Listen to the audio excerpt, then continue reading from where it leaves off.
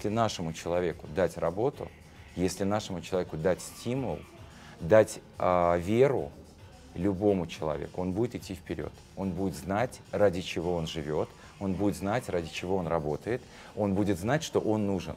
Пьют люди, либо уж совсем слабые, а выживают сильнейшие, как бы жестоко это ни звучало, либо те, которые не знают, куда себя подать, либо те, которые никому не нужны. И, конечно, все не могут перебраться в большие города. И все не могут приехать в Москву, Санкт-Петербург, Екатеринбург, еще огромное количество маленьких городов по России, где тоже, в общем-то, нужны люди. И они, к сожалению, оказываются, в общем-то, неуделом и начинают пить. Ну, по разным причинам. Это так сейчас, вот моя версия такая. Я человек тоже, в общем-то, лю- люблю выпить и не буду это скрывать. И я считаю, что это очень приятно иногда расслабиться с друзьями.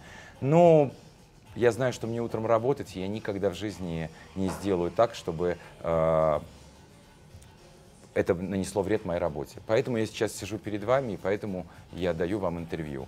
Поэтому, наверное, когда люди это поймут, или кто-то им объяснит, что должен быть, или когда они поймут, куда они идут, потому что я-то понимал, куда я иду. Я надеялся на свои руки, на свои силы, я надеялся на свой профессионализм, я искал в себе его.